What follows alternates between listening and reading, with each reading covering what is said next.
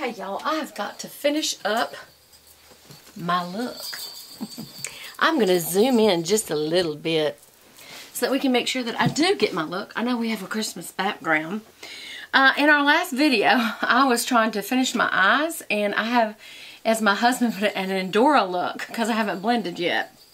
That's because I was rudely interrupted in the middle of my mascara, of my makeuping party here. Okay, so we had just gotten to um, correcting this wing by powdering over it, and I am also going to take this pointed um,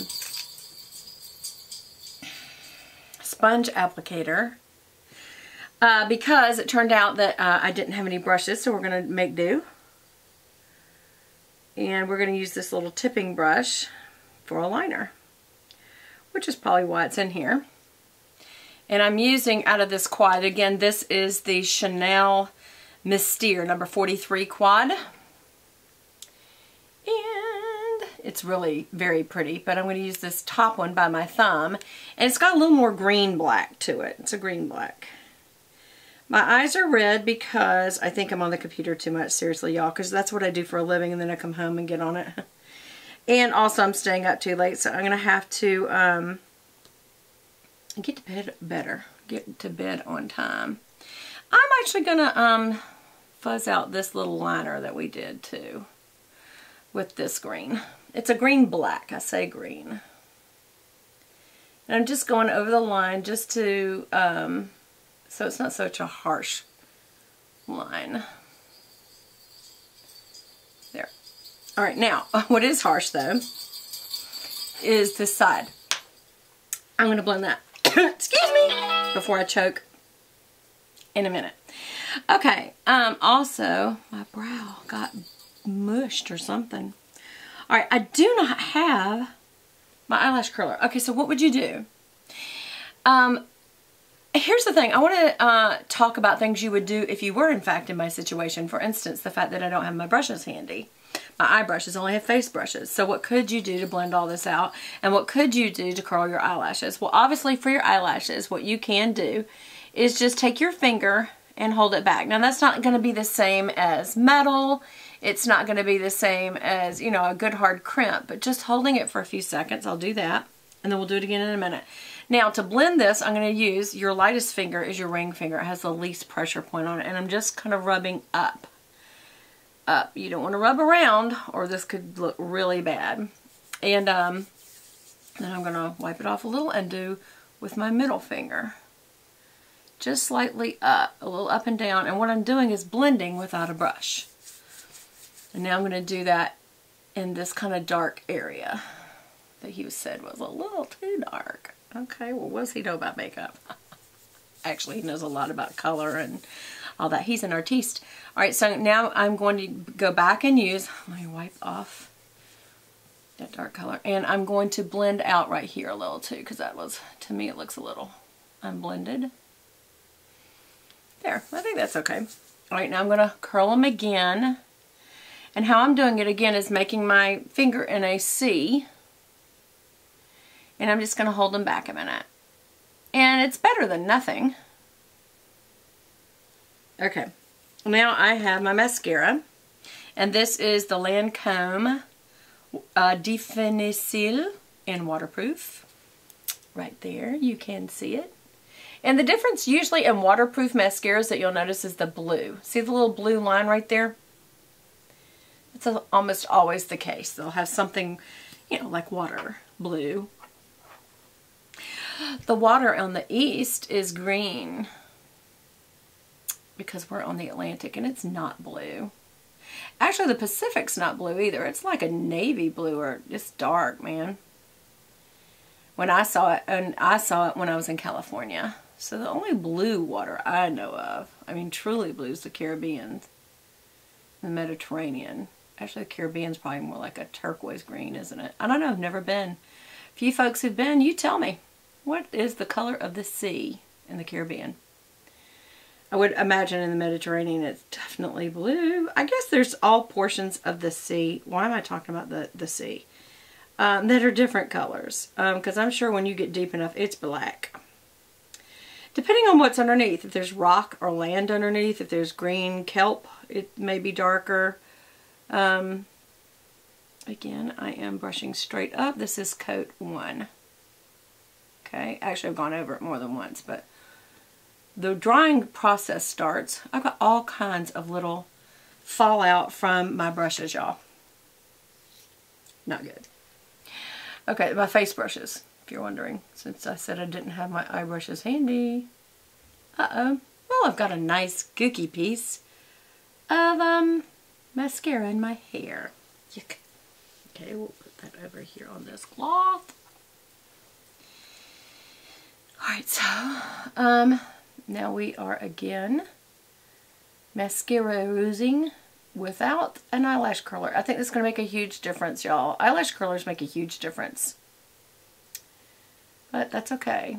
And again, when I get to the inner part of the upper lid, I go towards the nose. And the dogs are welcoming someone viciously. Hey, maybe I'm getting a delivery. Anyway, it also could be the trash man. They're coming later and later. Of course, it looks dark outside because there's no daylight savings time. I hate the lack of daylight savings time. I mean, it kind of feels more wintry, but it also, it's just so dark so fast. And I don't really like it being lighter in the morning. I guess people, morning people like that. I'm not a morning person. so I'm just not crazy about it anyway. Yep, that was the cleaning, the um, trash man. They just went by. Okay, now I'm going to go back into the um, mascara well.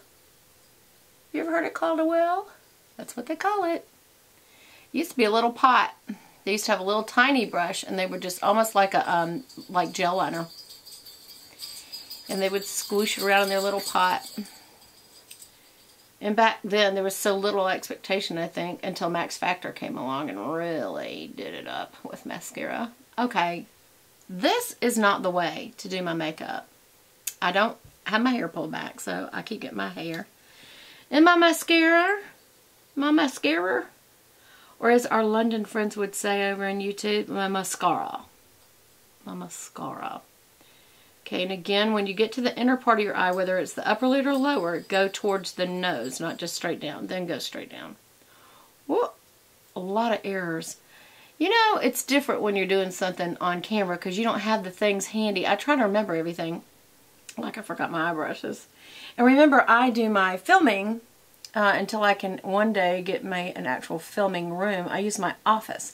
And so I use my little Lancome um, gift bag to bring from my dressing area all that I would need to do a video. And I forgot my eye brushes.